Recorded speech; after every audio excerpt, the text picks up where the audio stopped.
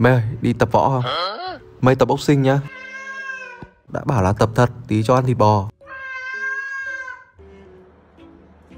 Trông ra dáng võ sĩ quyền anh phết nào. Ông nào vào đây? Vả cho cái rồi. Bộ găng tay này để chống cào cấu khi tắm với sấy cho mèo Hoặc cho chó cũng được. Đây là mây vừa tập xong đang chờ nước để tắm. Nhìn tròn nhỉ?